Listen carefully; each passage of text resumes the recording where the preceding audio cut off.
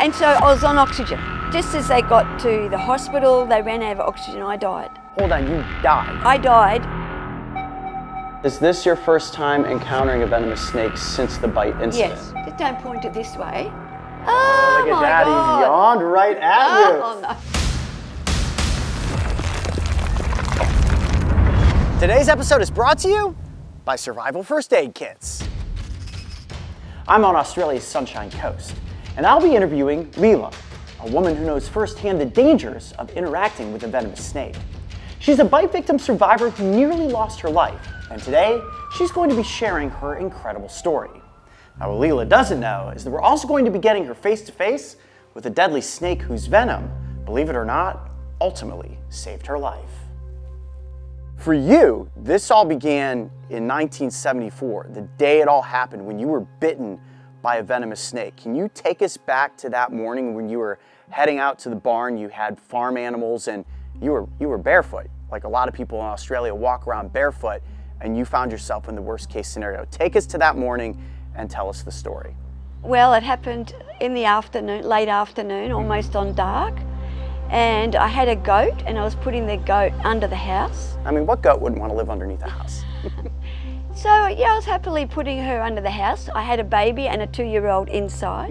And I felt this like a pins and needles feeling, like pins and needles in my foot. And so I went inside, and I thought straight away that I definitely had been bitten by a snake or a spider. I wasn't sure what. Um, the poison immediately went straight up to my head. Really? So I got a migraine headache. I've never had a migraine headache in my life. So I had this migraine headache and straight away I started to vomit. So I got the bucket and I'm leaning over the bucket vomiting and thinking, oh oh God, I need help, I need help. So I put my baby and my two-year-old and myself in the car with the bucket so I could keep vomiting in the bucket and go to the neighbours. And then the neighbour takes me straight to the Southport Hospital. And at the Southport Hospital, the doctor thought I was, reckon I was a hippie and I was on drugs and I didn't know what I was talking about. That's an unfair judgment. Very unfair. And um, gave me a blood test and left me all night with no antivenin, no nothing. And um, I was yelling out for help because I was getting feverish and I knew they weren't doing anything for me and I was screaming out for help. I want my acupuncturist to come to the hospital. An acupuncturist in the 70s? Yeah, and the acupuncturist actually made it up to the hospital. He heard somehow on the grapevine. Certainly no text messaging back came, then. No, no mobile phones back then. He came up to the hospital and he felt, because acupuncturists, they go on your pulse, everything's on your pulse. Mm-hmm. He felt my pulse and he felt every muscle fighting the venom. Wow. And the next morning, I had fallen into a coma and every muscle had collapsed and I couldn't breathe. And so they found the venom in my blood test and then they gave me the antivenin, but it wasn't, I, I, I couldn't breathe at this stage. Yeah. So they had to put me into an ambulance and race me to intensive care in Brisbane, which was about 100 kilometres. And so I was on oxygen in the ambulance. Just as they got to the hospital, they ran out of oxygen, I died. They raced me up. Hold on, you died. I died, my heart stopped beating. They raced me up to intensive care and they got me going. They got me breathing. How did they get you breathing? Did they have to put a tube down into They had to put lungs? tubes all over me Okay. and in my mouth. And they leave the tubes in your mouth for five days. And after five days, they have to do tracheotomy because uh, it can get infected. Yeah. So they had to do a tracheotomy where they open up your throat and they put a machine into your throat, a tube, and the machine is actually breathing for you because you cannot breathe on your own. So a lot of the snakes in Australia have a, a neurotoxic venom, which ultimately can cause your internal system to go into a state of paralysis and collapse. And it sounds like that's exactly Yeah, and I had I you. had big hematomas in my groins, which are big black bruises. Yeah. Which are hematomas are internal bleeding. Mm-hmm. So I had internal bleeding, and um, I was in the coma for six days. Wow. And uh, then after that, I regained my consciousness. So the moment that you came back, let's call this day seven into your ordeal, do you remember waking up out of this coma? I do. I do. And I remember thinking to myself, I'm, this is a dream. Really? I'm, I'm having a dream. This can't be real. This can't be real. So once you'd woken up out of the coma, like were you just kind of like a cucumber there in your bed? Like at that point, your muscles had gained no. I had no back? strength. I had no strength. They, they sat me up and I just fell back down again. I had no strength at all. I Must to- have been so scary. It was a slow, a slow um, process of my muscles building back up. So you're in the coma. Um, you come out of it, and I imagine your first question to the doctors would be, "Do we know what kind of snake bit me? Do you know at this point which species it was?"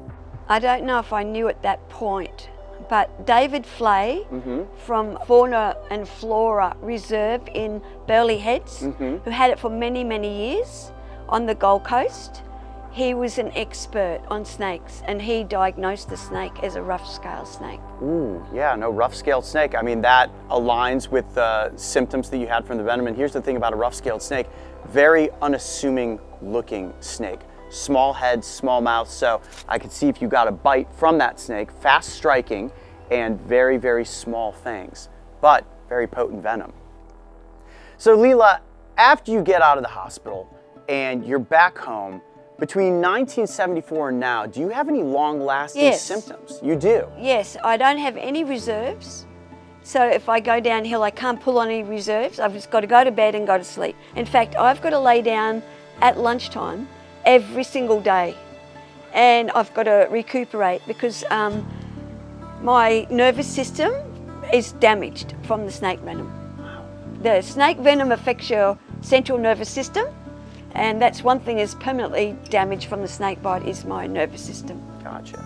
Okay, so a lot of people out there have a fear of snakes. It's called ophidiophobia. So I have to ask you, previously or now or after this experience, were you afraid of snakes or are you now afraid of snakes given that one nearly took your I'm not life? afraid of snakes, no, because I love animals. Mm-hmm. I love animals, and I just happen to be in the wrong place at the wrong time. Yeah. And I respect snakes. I respect all animals.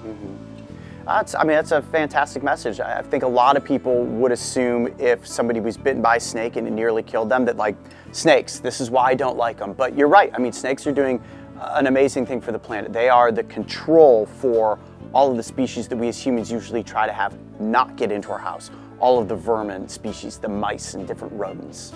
I, I believe that snakes will just want to really just get out of your road. Mm-hmm. You know, they just want to get on with their life. They're not out there to kill you. Not out, they're not out there to bite you. Mm-hmm. Now, we have a little something extra lined up today. I don't know if you were aware of this or not, but would you be comfortable? We have, we A have, we are in the scale snake. vicinity of a snake, not a rough-scaled snake, Oh. the tiger snake, the snake that is actually responsible for providing the venom that created anti-venom to save your life. Would you be up for meeting a tiger snake today? I would. Li- I'd like to meet it. I don't Yeah? hold it. It will be totally controlled, and if you want, you'll even be able to pet its tail. If No, you no, wanna- no. You don't think you'll pet its tail? You might when you see how pretty No, the I snake don't is. know. we'll cross that bridge when we get on. to it. But you at least seeing the snake, that's a huge step. And saying that you're not afraid of snakes, most people, had they been bitten by a snake, would have immediately said, whoa, whoa, whoa, hold on, you're, you've, have, you've got a snake here in the same vicinity as me. So I love that you immediately, you. I saw your eyes light up. You're like, no, no, no, you. I love snakes. I would love to see what this snake is. Thank so you. that is going to be the next piece of this episode, getting Leela up close and personal with the very snake species whose venom ultimately saved her life.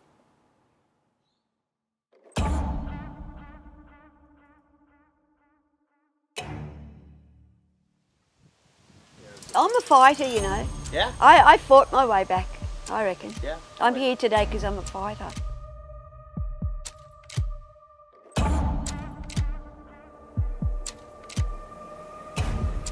Okay, Leela, we've got you in the room of snakes. Now, I know you're not afraid of snakes. We've already accomplished that, but the tiger snake is going to be coming out here. Lockie's going to get it onto the floor. We're back with plenty of distance. We're going to get it inside of the tube, and you'll see how that completely controls the snake's head, so it keeps us and the animal completely safe. It's always a little nerve-wracking, though, anytime one of these venomous snakes comes out of its enclosure. See that? So now that the snake is in the tube, work it up just a little bit further. Okay, cool. Snake is under control. And now we're going to move a little stool in for you to sit on. Right. Are you comfortable? Yep. Okay, cool. Lockie, we're good? Okay. Leela, feeling okay? Yeah? Okay, there it is, the tiger snake. You can see why it's called the tiger snake, that beautiful tiger pattern. Now, they come in a variety of different colors. This one specifically, I would say, is extra beautiful. It kind of looks like the white Siberian tiger version. it's beautiful. Um, Leela, is this your first time encountering a venomous snake since the bite incident? Yes. It is. Wow, that's a big step. Here we are 50 years later, and you're in the room with the very animal whose toxic venom ultimately became the thing that saved your life. Wow. How are you feeling right now? A little more nerve wracking to be in a room of snakes no, than no, it is on the porch? fine. Totally relaxed, okay? Yeah. Now, what are the odds, do you think, that you are able to just gently pet the snake's back? Do you think you could do that? The back. The back of it. What about the tail? You can touch the tail, yeah. You want to pet the tail? Okay. Yep. Pretty cool, huh? Yeah. Ooh, yeah, but nothing can hurt you. See how the, the snake's head, obviously completely contained with inside of that tube. And this is a rather secretive snake species, so unless you're in the right place at the right time to see this snake, which as a team we are often looking to do, but for anybody out there wanting to avoid snakes, it's a good chance you'd be able to avoid this one. Oh, okay. Yeah.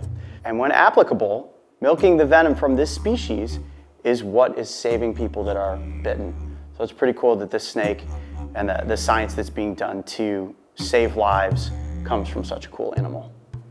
Do you want to touch it on the back there? Beyond the tail, or we're working beyond the tail at this point? Pretty smooth, huh? Yeah. A lot of people think that snakes are slimy. They certainly are not. The scales are very dry, very sleek, and very powerful. You can see how it's just slowly inching itself forward in the tube. And I'm gonna let it come up just a little bit more like this. And I'm gonna let the head just peek out a tiny bit so the Mario can get that shot, but don't worry, you're still gonna be completely safe. There we go. Look at that, pretty cool to see. See that, that Oh, look at that. He's like, I wanna just keep going. So Just don't put it, point it this way. Oh my that, God. He yawned right at oh. you. Oh, no. That was basically him saying, Oh hey, no, I'm hi. starting to feel a bit nervous Leland, now. Leland, oh no, nice I'm to meet you. Nice to meet you. to feel a little bit nervous now. A little bit nervous now? Yeah. Okay. Well, I think at this point, what I would love to do is show you the proper treatment for a snake bite. Yes, this is like a good idea. Probably a good idea to get it back into its enclosure Yeah, at I think point. so, yeah. All right, I'm gonna hand the tiger. Everybody back up just a little bit there. Tiger's coming back over to Lockie. Let me know when you're comfortable. Good. Okay, got it. And there we have it. I petted it. You I did. You it. did. That's it. I That's even such a patted huge its back. I petted its You back. patted, yeah, you, you see, and up I there you're like, no, I'm not going to be able to pet it. But then you ah. saw, you realized, oh, it's not that scary. Can I give you a hug? I'm so proud of you. that was amazing. So the next thing that we're going to do is show you the proper way to bandage up one of your appendages if, heaven forbid, if you were to ever be bitten by a venomous snake again. Our friends from Survival First Aid Kits have given us one of their snake bite kits. Now, this you should have with you at all times in your car, in your house, in your backpack if you're out there hiking, because this kit has the potential to save your life. Okay, so Lockie, I'm gonna have you come into the scene. I'm gonna hand you over the snake bite kit. Now, Leela, most of the time, people are bitten on their hands by snakes. I know you were bitten on the foot, but we're gonna just go with a hand bite scenario. So I'm gonna turn it over to Lockie. Let's pretend, ooh, I just got bitten by a tiger snake, or in your case, a rough-scaled snake. Lockie, what do I do? It really hurts. It really hurts. Hang in there, mate. The first thing we're always going to do is we're going to call for help. Call Triple O here in Australia. Emergency services on the way. Make sure they know what's happened to you and they know where they are, and that's going to make the whole staying calm thing a lot easier. The second thing we're going to do is we're going to take our snakebite kit. We're going to open it up and we're going to take a pressure immobilization bandage. So what we're going to do is we're going to say he's been bitten on the middle of the hand here. We're going to start around the bite site. So we want to go bandage around. I'm gonna take these things off first. Yeah, you can take those off. That'll Okay. make it a little bit easier. If there's any jewelry, we can take that off first. We don't have to worry about Thanks, his Leela. sleeves here. We're just going to bandage over the top. Now the idea is we're going to start around the bite site. So we're going to go around his hand here and we're going to go two to three times around the bite site itself. Now, we want to be firm but not too tight. I'm not trying to rip this bandage and cut off circulation. It's the same as a sprained wrist or a sprained ankle. Nice and firm, all we're trying to do here is to slow that venom down and give you plenty of time to get to hospital and get uh, antivenom ready uh, to be administered. So all we're doing here is we started around the bite site and we're now working our way up Coyote's arm, our patient, okay? And the idea is here, go as far up the limb as possible. So the further up the limb you go, the more time you're gonna buy yourself because keeping in mind the venom is slowly moving its way through and all we're doing, adding a bit of pressure and slowing it down, buying yourself plenty of time to get off to hospital, get yourself checked out, get a doctor looking at you and get some antivenom there ready to go. Now, I've run out of bandage. Okay, that's the end of my bandage here. All I'm gonna do is I'm gonna tuck that in here and we're going to grab another one. What the venom's looking to do, it's going to move through his arm, through his lymphatic system. Eventually, if you're bitten on the hand, it's going to get up underneath his armpit. And underneath his armpit are his lymph nodes.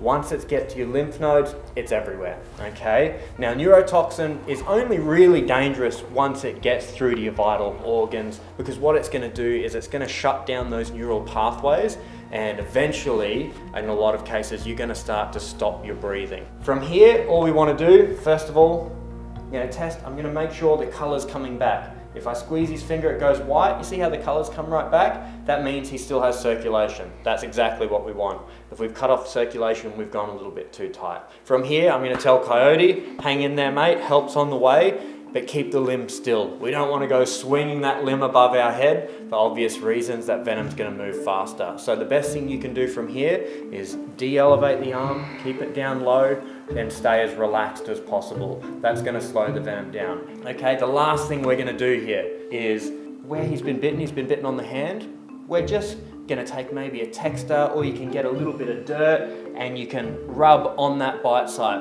What we want is Worst case scenario, he gets to hospital, he's lost consciousness, he can't tell the doctor where he's been bitten, um, so the doctor needs to know. If you don't have dirt, you don't have a pen, anything will do. We're going to take a bit of plastic from our bandage and we're going to tuck it out here. The doctors know to look for this. What they're going to do from there is they're just going to cut a little hole in the bandage and they're going to take a swab and that swab's going to tell them what antivenom to prepare for coyote here. Okay, very straightforward. We're lucky in this country. We can do this for any species of snake.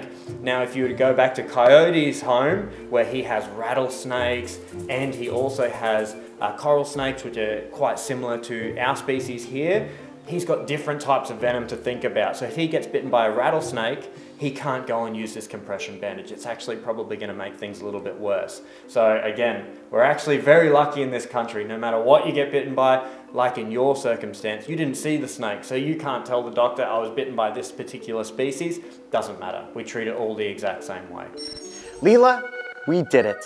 You told your story to the world, you got face to face with a venomous snake and even touched it, not just the tail, but also the back, and you learned how to properly apply snake bite first aid. Big thanks to our friends at Survival First Aid Kits. Leela, I'm officially gifting this to you. Now you will know how to save people's lives into the future. I'm Coyote Peterson. Be brave, stay wild. We'll see you on the next adventure. No one plans to be bitten by a snake, but if the worst case scenario happens, it's always good to be prepared. Survival first aid kits are the best in the business, and for over half a decade, they've been an integral part of my field safety kit. From cuts and scrapes to bites and chomps, they've got me covered. For more information, make sure to check out their website and gear up today.